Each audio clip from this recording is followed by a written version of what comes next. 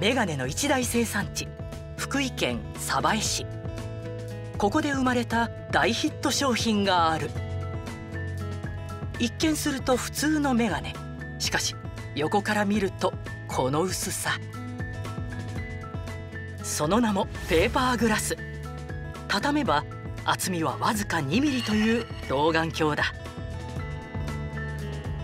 2012年の発売以来累計10万本を売り上げるベストセラーに。軽いし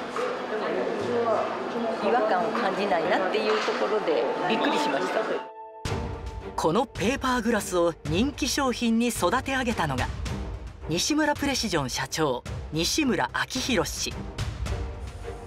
会社の母体は明宏氏の父が経営していたメガネの部品工場しかし海外の安価な製品に押され一時は廃業寸前に追い込まれていた。危機を救うため家業に戻った明宏氏。しかし待っていたのはバカ者って言ってバーン殴られるんですよ。マジっすか？はい。バカ者って言って。親子に一体何が？町工場の V 字回復をもたらした事業承継の舞台裏に迫る。賢者の選択サクセッション本日お越しいただいたのは西村プレシジョン代表取締役西村明宏さんです。西村さんどうぞよろしくお願いします。よろしくお願いいたします。実は私この番組結構もう回を重ねてきてるんですけどぜひ西村さんには出てもらいたいということでね私も立ってのスタッフにお願いをしましてあの実は私もその事業承継すごく問題意識があって今日本中で本当に課題があると思うんですよね。うんその時の、まあ、一つの成功例としてよく勝手ながら西村さんの話をしてるんですね。ありがとうございます西村さんといえばじゃじゃんというわけでもこちらペーパーグラスというものでしてこれがですね今もう大ヒット商品なんですよ。一言で言うと、はい。畳むと薄さ2ミリになる老眼鏡。薄さ2ミリの老眼鏡ね。はい。で僕も実は最近めちゃめちゃ老眼が入ってきまして。皆さんなりますよ。なりますよね。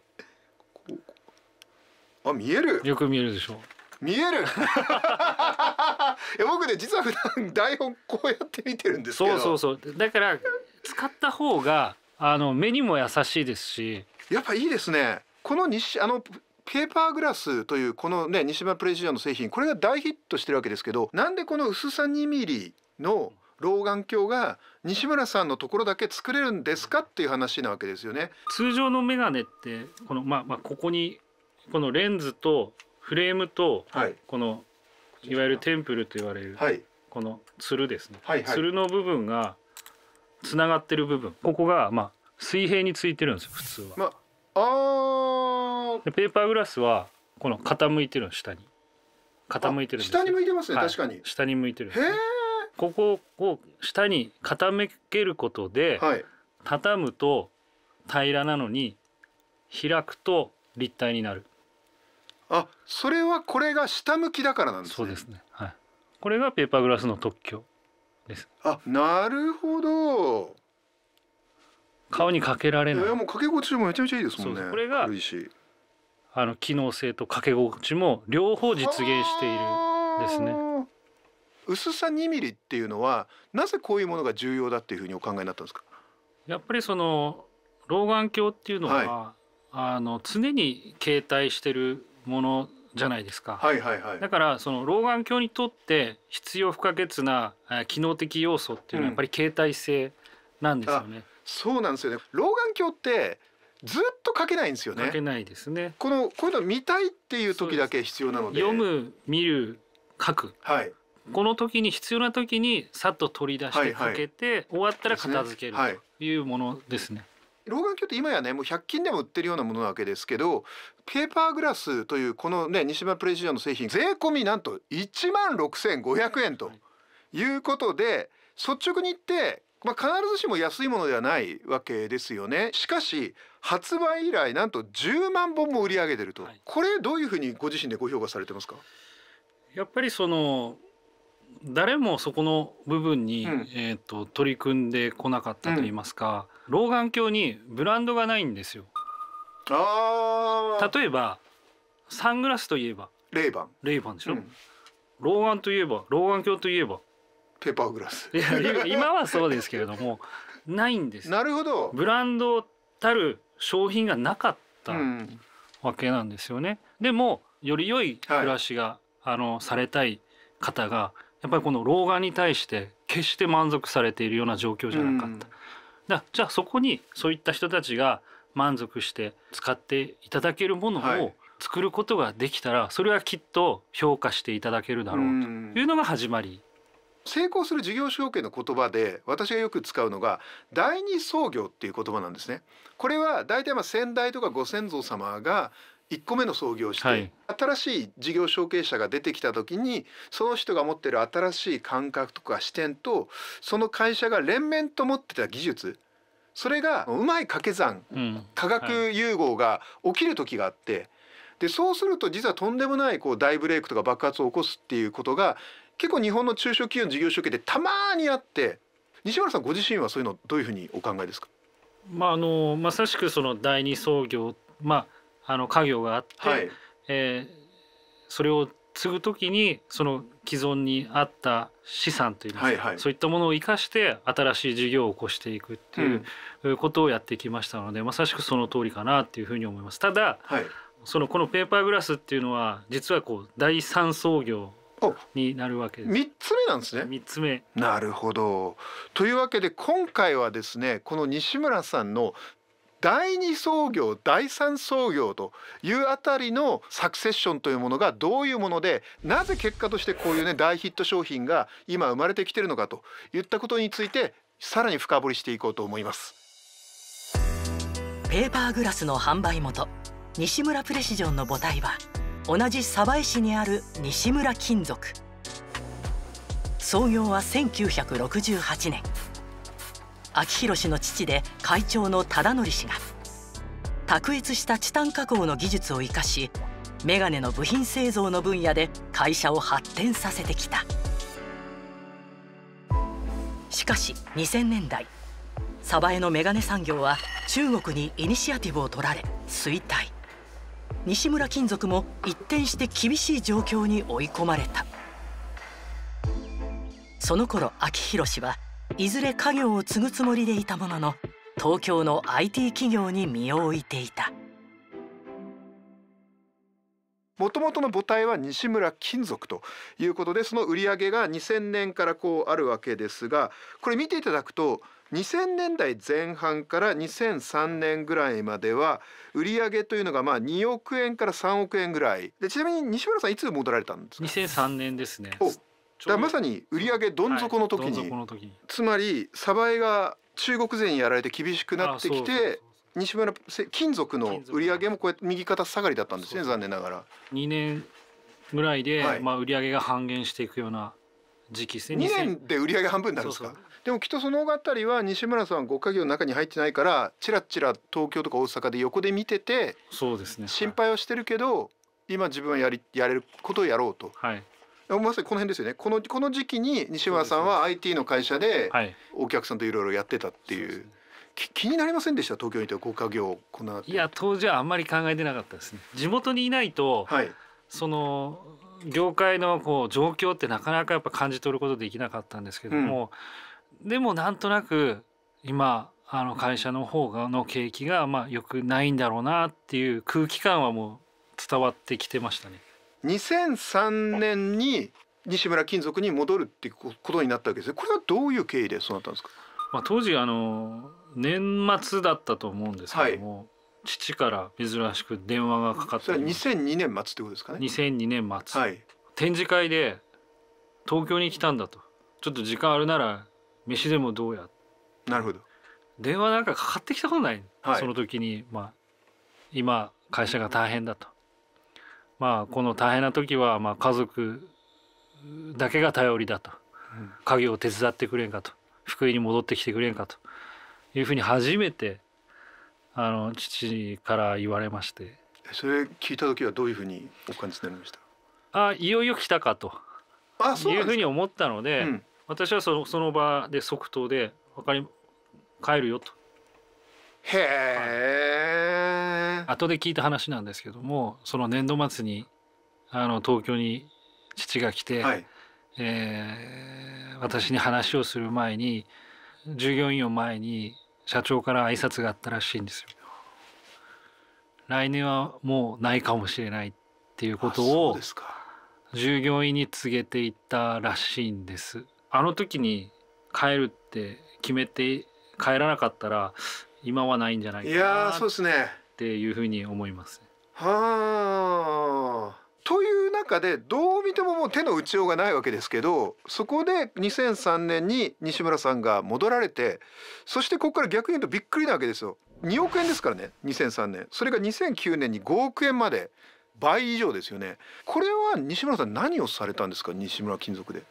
こう鯖江に戻ってきた時に、メガネ業界の状況ってそういった状況だったんですよ、もうこれ以上その縮小していく市場の中で新たにその業界の中で新たな仕事を取っていくっていうことはやっぱり不可能に近いじゃないですか。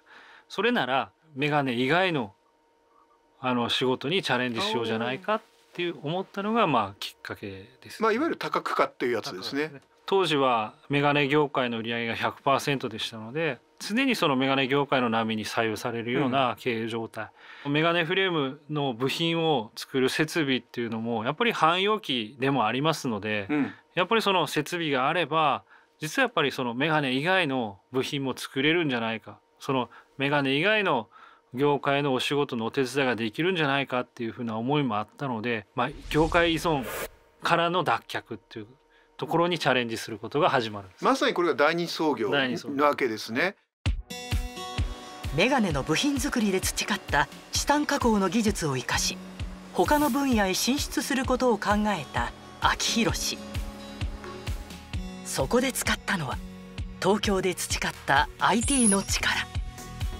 当時まだ珍しかったホームページで新しい仕事をつかむためのアピールを始めた。しかしそれに待ったをかけたのが秋広氏を呼び戻した張本人の父だった。お前何この情報勝手に出してんだバカ者って言ってバーン殴られるんですよ。マジっすか？激しい親子の対立その行方は？メガネ業界に依存する体質を変えるために実家の町工場を他の業界に進出させようと考えた西村明宏氏。そこで使ったのは自らが東京で培った IT の力当時中小企業ではまだ珍しかった会社のホームページを作成。そこに秋広氏は大胆な策を講じた。自社技術の公開。ホームページを使い西村金属にある設備を余すことなく公開。どのような加工技術があるのかを見せることで他の業界にアピールをしようと考えた。しかしこれに激怒したのは当時西村金属の社長を務めていた父忠則氏だった。秋広氏の兄で現在西村金属社長の健二氏は当時の様子をこう語る。うちの会長は頑固一徹ものづくり職人で18高卒してからずっと会社で働いてこの会社の基盤を作って作り上げた人ですのでやっぱりそれを自分が集めてどんな機種を選択してるかどういう機械を置いてるかによってこのちっちゃなサバイの中で競争してるのでその情報を外に出したら一気に追いつかれるっていう恐怖があると思うんです。会長僕そして常務の西村の方と話し合って一応出していこうという話でうんご利用しですけど出したっていうとこですね。当時これだけのものを作るのは素晴らしいですよね。はい、そうですね。製造業がはい。インターネットで、えーを使ってお客様とこう商売をやり取りするのはできないって言われてた時代だったんですよね、なるほどなるほど。一度も会ったことないお客さんからインターネットの情報発信だけうんで仕事がこうつながるわけないって言われてるような時代、時代ですよ。だってはい。20年前ですからね、20年前の時にもう誰もそんなことやってない時に西村さんはこういう製品に売れますじゃなくて我々はこういうことができますっていうこういう技術がありますっていうホームページを作ったわけですね。はい。やっぱりそのまずは自分たちが何ができるのかっていう情報を発信しないとお客様もじゃあそういうことができるならこういうことできないっていうような相談を得ることはできないと思ったんですよ。とはいえ周りの反応はいかがでした？周りというか父は大反対でしたね。お父様反対、はい、せっかく呼び戻したのに。呼び戻したと思ったらわけのわかんないホームページ作り出したのこいつみたいな。まあ許してもらえないので勝手に出してたんですよ情報、うん、ホームページに。うん。もうもう知らんと思って。会社のその中の情報ね。たまに見るんですよ父親がそのホームページ、はい。するとあの飛んできて「お前何この情報勝手に出してんだバカ者!」って言ってバーン殴られるんですよ。マジっすか？はい、えお父さんにぶん殴られたの？はいはいあります。3本ぐらい眼鏡壊してますよ。かけてね、はいはいこうやってバーン殴られるはい 会社にある設備とか技術の情報をもうホームページでこう発信するなんていうものは父親にとったらもう考えられないその時西村さんどう逆にいや負けなかったですね。じゃあそうは言ってもこれをやっていかないと未来は切り開けないっていうふうに思ってましたので父親とぶつかろうが喧嘩しようがやっぱり親子なんですよ。うーん。やっぱ次の日ケロッと普通に喋ってたりするんですよ。とはいえですよ会社のね技術の会社だからその技術の例えば工程とかを見せるってことですよね、うんうんうん。それって結構自分たちの競争力の源泉をある意味こうばらばらしちゃうことにもなりますよ僕はですねあの見て盗まれるノウハウはノウハウじゃないって言ってたんですよ。やっぱ製造業にとってじゃあチタンを加工するっていうのは非常に難しいですけどもあの1個2個っていうのは加工ができるわけ。だけどチタンの難しいところは量産加工する。同じ品質なものをこう保って加工するのは難しいわけです、じゃあそれをするにはどういったノウハウが必要なのかっていうのは実は目に見えないところに隠されてるわけですよだから自信を持って情報を発信してました。当時あの日本国内のメーカーさんもですねやっぱり中国製の安い安価な商品が入ってくることで、より付加価値の高い商品開発をすることが求められてた時代でだったんですね。その時にやっぱり付加価値の高いこのチタンっていう金属を使って新たな商品開発をしたいっていうメーカーさんが日本中にいるってことを初めて知って。あということは逆にホームページをやってみたら引き合いがいっぱい来たってことですか？そうですね。はい。へえ例えばあの代表的なところだとどういうところに？いやそれはちょっと言えないあ言えないんです 言えないですね。やっぱりそのお客様のやりたいこうしたいっていう情報があっうん。て、こうできますよってお返しするのでやっぱりなかなか言えないんですよそうですか。でも西村金属の技術で世に出た商品っていうのはいっぱいあります。実はいっぱいあるんですね。それはもう言えないけどあれも実はあれもみたいなのが、まあ、はい。どんどんどんどんお客様がこう新しいお客様にこう変わっていって全体の売り上げのまあ約8割がもうメガネ以外の売り上げ。あそうですか、はい、これぐらいこう業界依存体質から脱却したまあ、逆に言うともし眼鏡だけにこだわっていたら本当にこれがさらにこのままきっと下がっていただろうということですよねだから本当にそのお父様が2002年の末に社員に向けて来年もうダメかもしれないっておっしゃっているような状況になってたかもしれないっていう。